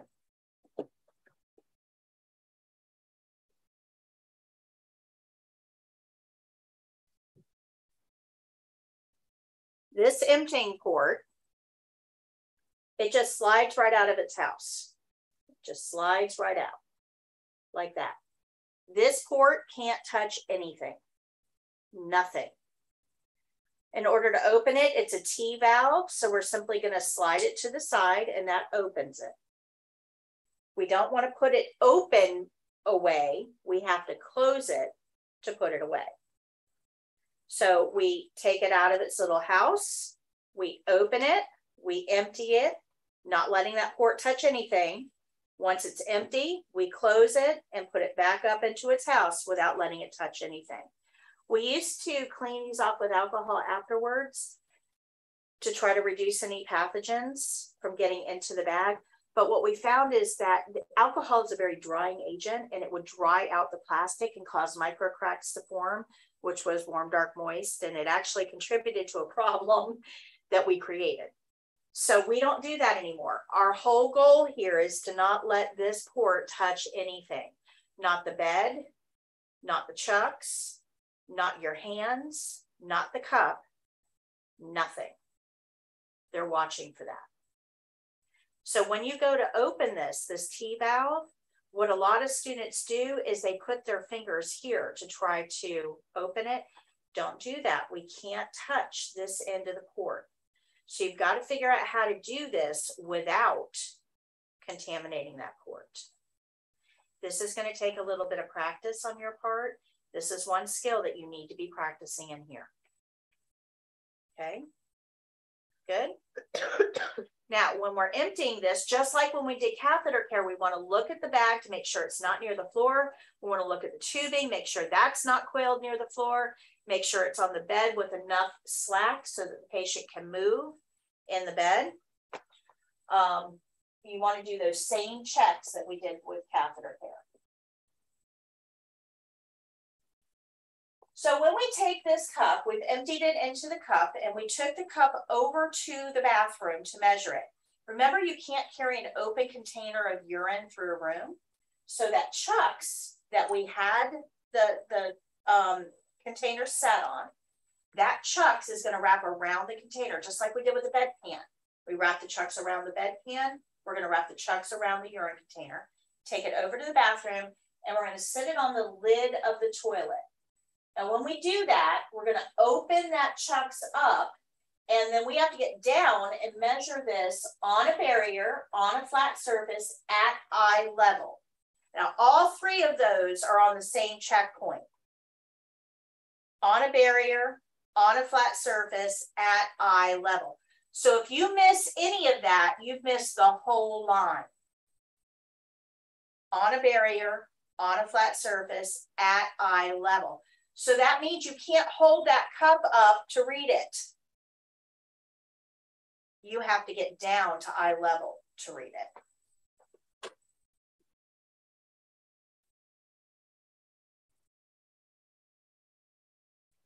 Good. Questions? We're going to document this again. This is on page 121. This is the documentation form, and we want to make sure that we're putting it under output. So we're going to put the time. Military time is best. If you don't know military time, you can use regular time, but you must include AM or PM if you use regular time. Very important. Okay, military time is best. And then you want to put the type of output. Urine is not the only thing that can come out of the human body. There's lots of things that can come out of the human body. But urine is one of them. So we're going to put urine there.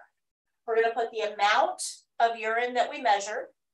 And then we're going to put our initials. Documentation is going to be done after hand washing, after the skill is complete. And then once you've documented, what do you need to do?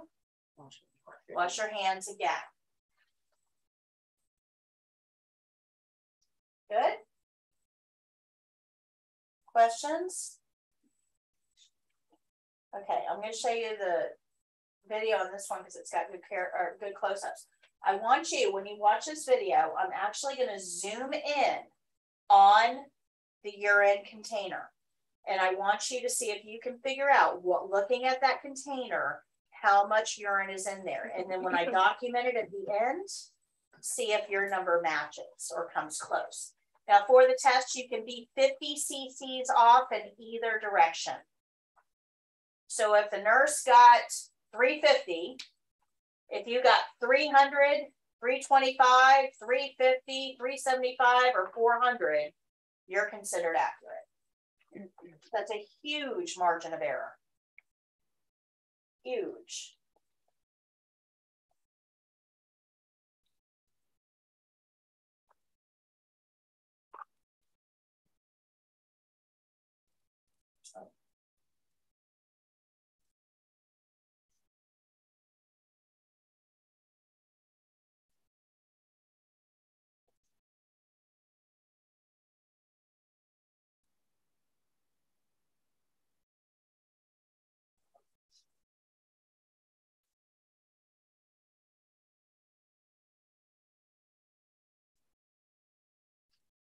This whole video only takes five minutes, and that's for the entire thing.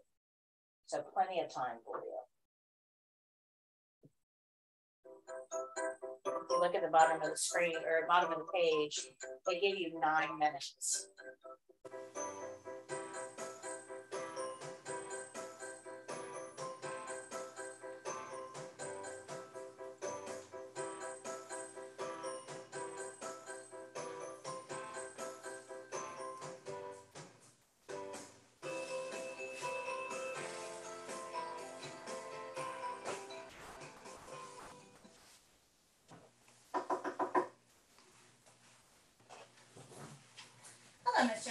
Name is Patti. I'm your CNA today. How are you? Great. I need to empty your urinary drainage bag. Is that okay? Okay, I'm going to close your curtain, wash my hands, get my supplies, and I'll be right back. For this skill, I'll need a barrier, which I'll place on the floor under the drainage bag. I'm going to need a set of gloves.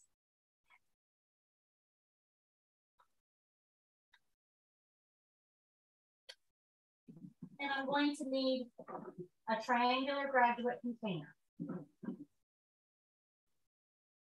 I want to inspect the catheter tubing to make sure that it's coiled on the bed and the patient isn't lying on it and it's not pink, but also that it's not hanging near the floor where somebody might get their feet tangled up in it and spread or accidentally rip the catheter out.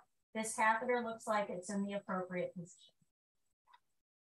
We'll now remove the port from its protective sleeve on the bag. Sliding the valve to the side will open the port. We can now position this open port over the graduated container and tilt the bag slightly to the side to allow the contents to drain into the graduated container. While doing so, we want to be careful not to allow that port to touch any other surface. Once the urine bag has been empty, we'll slide the port back to the side to close it and very carefully insert it back into its protective sleeve. We want to make sure that the bag is hanging on a non-movable part of the bed and it's not touching the floor.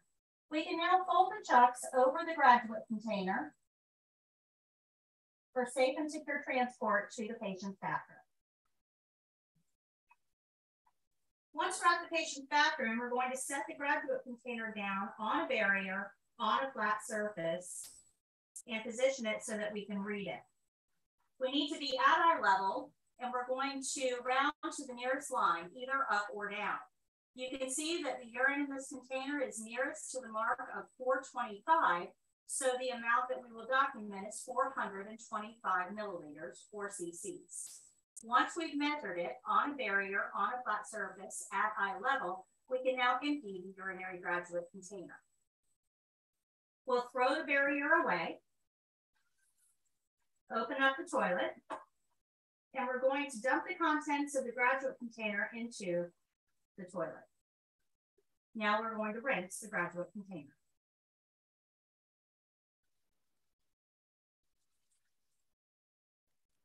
We'll deposit the rinse water into the toilet as well. Now we can clean. After dumping the rinse water into the toilet, we'll set it down, use a paper towel to pick it up, paper towel to dry the outside, paper towel to dry the inside. We'll discard this and then one for the drawer. We're going to place the graduate container in the bottom drawer and close the drawer with the paper towel. Okay, now I'll throw the paper towels away and remove my gloves.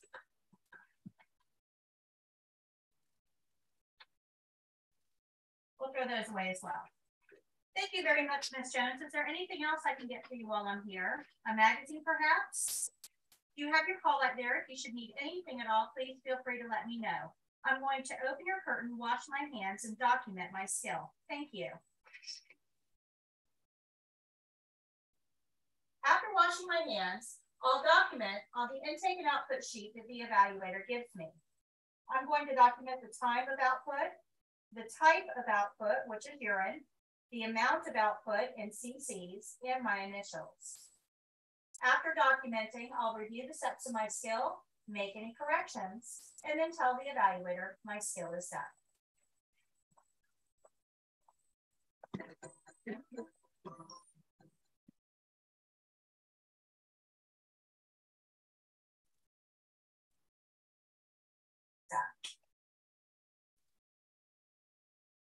Okay. Uh, you two people, I apologize. I did not have my microphone on earlier. so I hope you were able to hear. Okay, any questions on that? Any questions? Those are all the skills. We're done. You've learned successfully learned all of the skills that you could be tested on during the CNA exam. So now it's practice. And you're going to have to practice these. Um, they're not quite as easy as they look on the surface. They are easy, but they're only easy after you've done them once or twice. So you've got to put the time in and practice. Okay. The one thing that I want to mention is on the videos that, that I've showed you in here and that you see online, um, these videos were they were done in 2016. They're all still very, very relevant. The skills have not changed. The steps have not changed, with the exception of I've instructed you on numerous occasions to wash your hands after documentation. You do not see that on these videos because that is a relatively new requirement. So I'm getting ready to redo the videos, but please remember when you're watching the videos, that step isn't reinforced. So you have to, to kind of make the, the change in your mind with that. Okay. Questions? No? All right, uh, YouTube, we are going to uh, go on break and we're going to wrap up class today. Um, so I will, uh, on break, I'm going to get to the questions that were um, put in the chat and then I'm going to end the live stream for today uh, so that you guys can practice. So go ahead and go on break, come back at 10 after, and the rest of the class will be practice. You have almost two hours of practice today.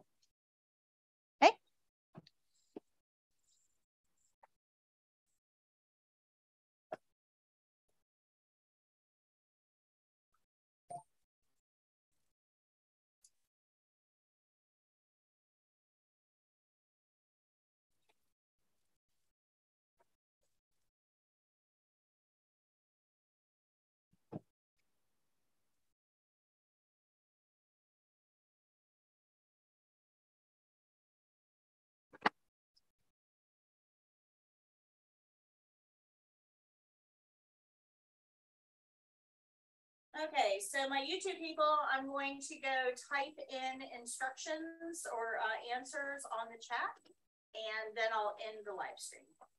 If you've got any questions, go ahead and put them in now.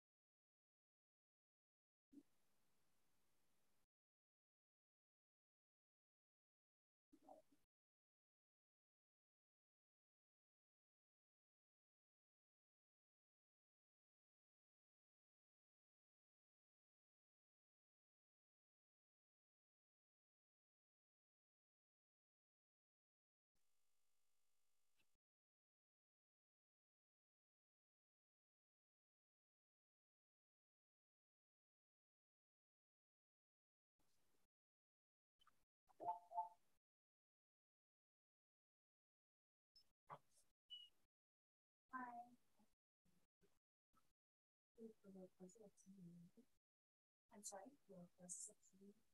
Yeah, so you're looking for information? If you can go right next door to the retail store, Jacob is in there, he'll be happy to help you. I'm just right in the middle of the class right now, but he'll be happy to help you. We have a class starting on the twentieth. Okay, thank you. Thank you. You too.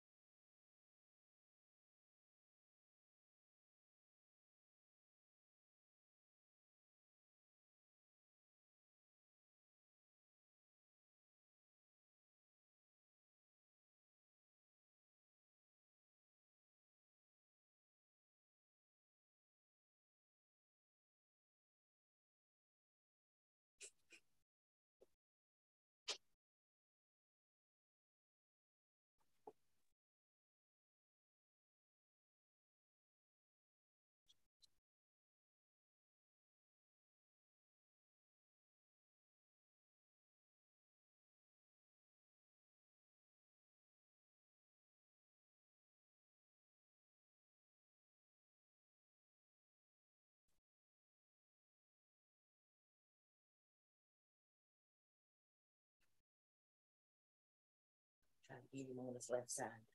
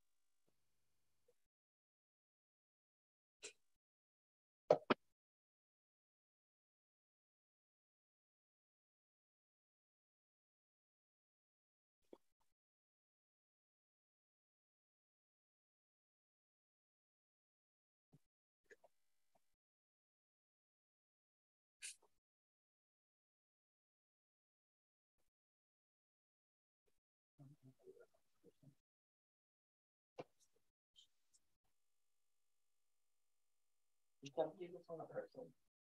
Yeah. Yeah, that's on Yeah. a real person. I did it on my mom. You too? It's way, like, yeah. it's Yeah. way it's the easier power in the back that's like the hardest part. Yeah. Yeah, she ain't working out too I was like, the paddle's not going behind your back. She's like, it's memory foam. Yeah, you gotta have a good sleep. Yeah. You wanna lay down for me? I can. Okay. That'll be three powers. Arm, leg, back.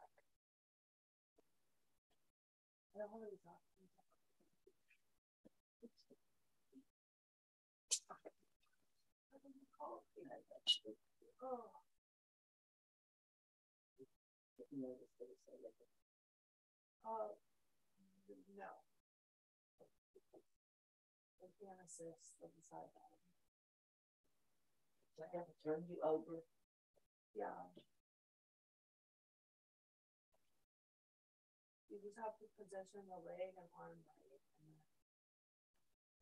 then- Cover it, put you in the towards me. Uh, I think they can do that, but they can't assist with, uh, The turn. yeah, rolling over. And you're gonna put me on the what, left side? Left side.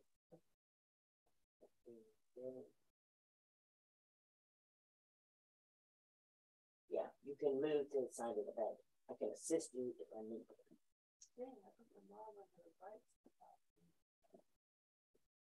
I'm gonna roll you this way, right?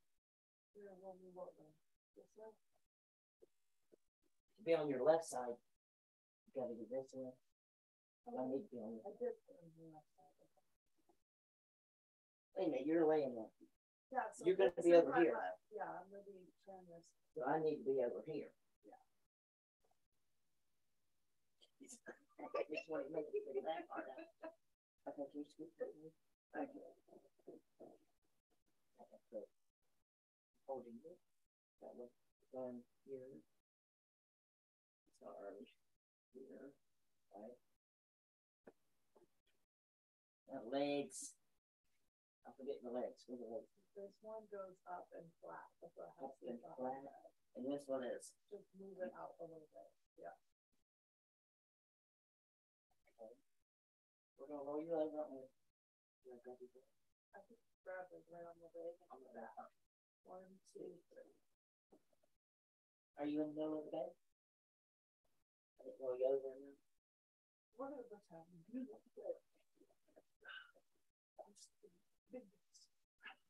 Me too, girl, me too. Now pull the. I'm gonna put blanket up and take this out and put your pillows in. Yeah, yeah, yeah, yeah, yeah, we got.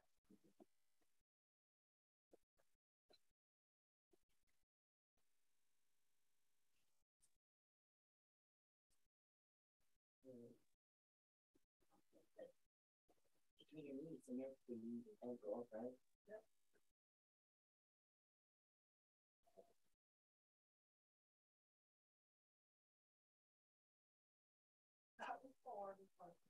Can you feel anything?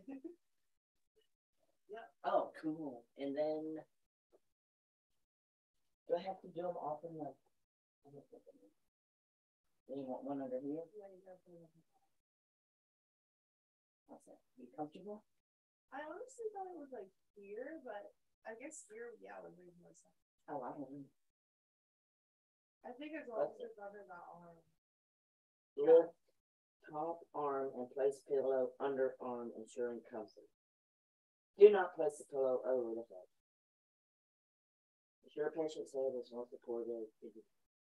Yeah, then just make sure the pillow behind my head is not under my shoulder.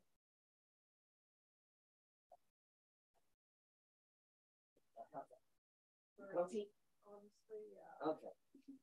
Ready to go? I hear that. Where's my call light? Do you wanna try it again? I'll try it on. Okay. I literally have this strong feeling that that's gonna be what I picked to. Thank, uh, Yeah, I got no, that or make occupied bed, like I just feel it. occupied bed, I think, uh, You wanna go under the sheet?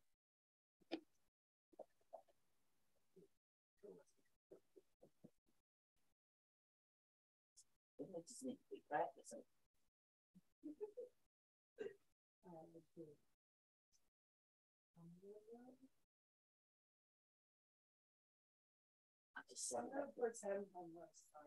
Yeah, okay.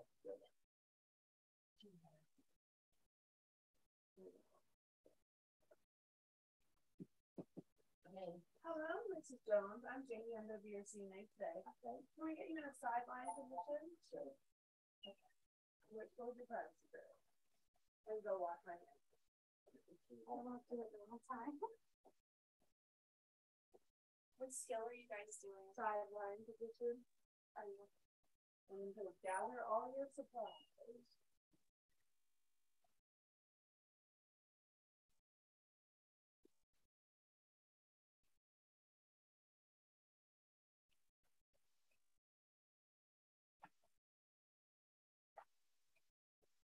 Look at like, going to that. I forget to talk. That's gonna be my biggest problem. Yeah.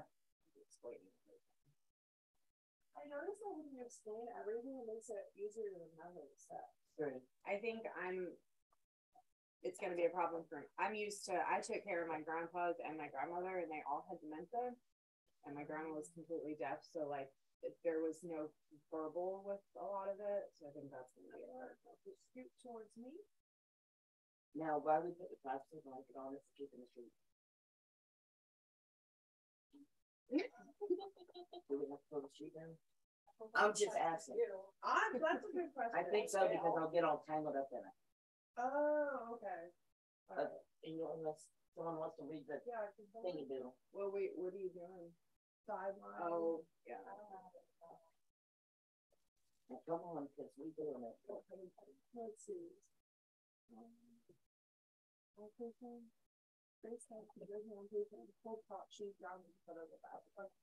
This is the one you have to cross down, their arms, have right? this Top sheet all the way down, you don't get tangled in it. And then it goes. Alright, and just- And then now you s- move towards me. Okay. Okay, so now we're gonna put this arm across your chest. I think it's And this one above your head. Then we're going to put this knee up, your foot is flat on the ground. And we're gonna lay this leg out a little bit farther. Okay, we're at the count of three, we're gonna roll to the side. One, two, three. I was holding my not holding mine. It's gonna fall out with that. Yeah, no, no. Okay.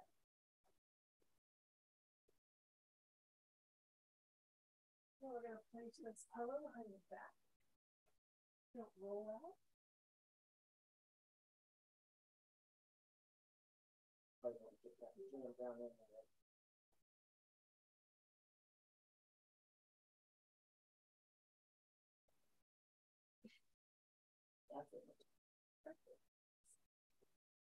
Is this the one like where the pillow?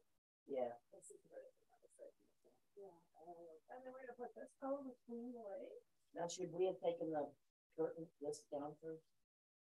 I mean, off. Yeah. I don't know, I'm just asking. With the Well. I thought we put the top sheet on bottom. I don't know. Um.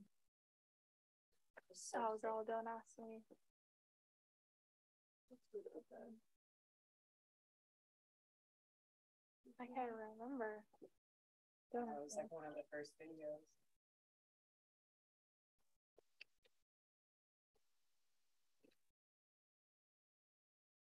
Oh no, top sheet is last. Okay.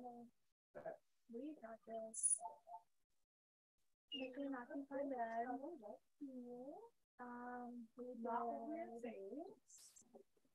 cleaning dentures. Your UT is here for class seven. All right, you two people, see you later. I'm logging off now so the students can practice. I know.